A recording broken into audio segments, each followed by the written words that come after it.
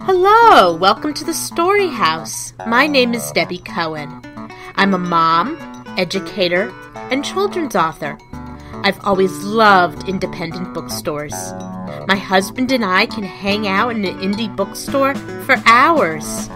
To me, bookstores are places of wonder, magic, and dreams, of creativity, adventure, and inspiration. I love the feel of a new book, knowing that I hold a world to discover in my hands.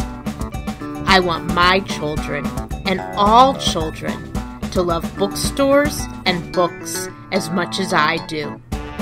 So I hatched a plan to open a children and teen bookstore right here in Montgomery County, Maryland. For all the wonderful things about Montgomery County, we have almost no indie bookstores, bookstores that truly reflect who we are as a community. But then I started crunching the numbers.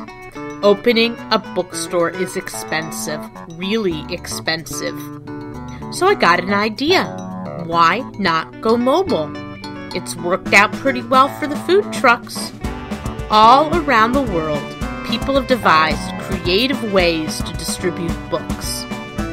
The Biblioburro would not work for me. So here's the plan. Step 1 Reach out to PTAs, clubs, synagogues, and churches and offer individualized, well curated book fairs. Enhance the book fairs with literary classes, book clubs, and author visits. Make the traditional book fair into a literary festival. Step 2 I want to buy myself a bookmobile, good old fashioned bus, outfitted with bookshelves, a bookstore on wheels. My goal is to locate and purchase a bookmobile by the summer of 2017, but probably sooner.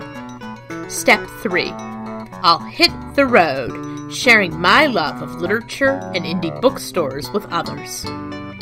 But to realize this dream of mine, I need your help. That's why I'm turning to Kickstarter.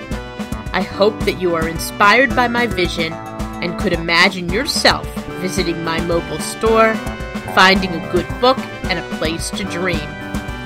All your favorite friends will be there.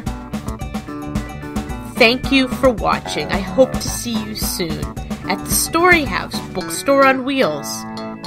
And hey, if the bookmobile doesn't work out, there's always the donkey.